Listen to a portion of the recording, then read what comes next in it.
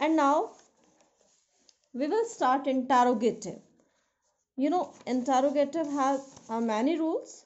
Uh, first we can change the interrogative by using uh, simply by writing helping verb in the beginning of the sentence. Okay?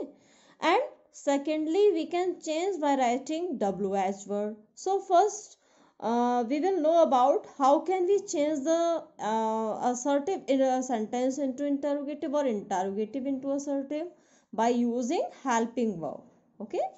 So now this is interrogative sentence in which helping verb subject verb and object okay?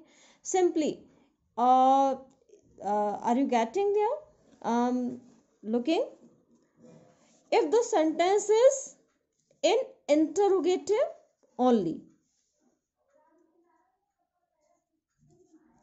okay then assertive sentence will be in negative okay simply i want to say if not is there you have to remove it if not is not there then you have to write अगर not है तो आपको हटाना है अगर नहीं है not तो आपको लगाना है simply i want to say that okay so the example is he a thief?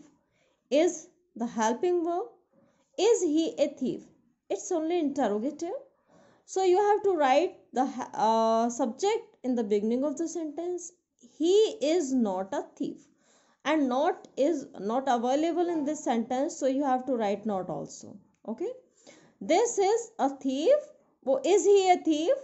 He is not a thief. Am i going with you?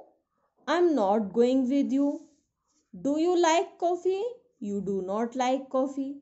Okay. Simply you have to write the helping verb after the subject. Then it will be changed.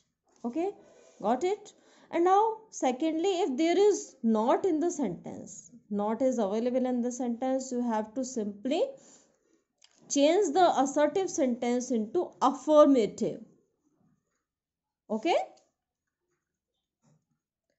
so uh, you, you have to write only the subject in the beginning of the sentence and remove not in changing in the changing sentence. Like uh, is he not going to school? The not not is available here so you have you have to remove it now. He is going to school. Okay? Is he not going to school? Means he is going to school have you not understood this topic? This is interrogative. Have you not understood this topic? I have understood this topic. You have understood this topic. You have understood this topic. Now it is assertive. Okay. And this is the second type by uh, using WH word. WH words in which you will use WH word uh, to write in the beginning of the sentence. Right? Uh, like if you observe that no one, nobody in the assertive sentence. Are you getting? Please listen carefully. If you observe no one, nobody in the uh, in assertive sentence, then you simply uh, you have to simply write who in the beginning of the sentence and nothing will be changed. You have to remove only these words from the sentence and simply write who. Like no one likes to be poor. This is no one. So simply you have to write who. Who likes to be poor. And nothing will be changed here. Only you have to write in place of no one who. Nobody can count the stars who can count the stars okay? It's very simple. And the next rule when you observe someone everyone everybody anybody somebody so in uh, place of these words you have to write who plus helping verb with not okay? Because these words always use in affirmative sentence so that's why you have to write not with who it's uh, uh, it very necessary to write who who uh, to write not with who who helping verb not plus verb plus object. The examples are uh, also given here. Everyone wants to be rich. Everyone. Okay, are you looking? Everyone is here. Everyone wants to be rich. Who does not want to be rich? Wants is a, uh, a first form with SAS. So that's why it's present indefinite. So the helping verb will be does. Who does not want to be rich? It's interrogative. Who is not going to school? Everybody is going to school. Okay, simply uh, you have to write in place of who, everybody, and remove not from the sentence. Okay, and uh, the next rule is when you observe always ever in affirmative sentence then you have to write when. What? When. I'm just pointing out these words that you have to change in place of these words. When plus helping verb plus subject plus not plus verb plus object okay? So look the sentence I have always complete my work. So simply uh, are you looking there? Always. So you have to write when.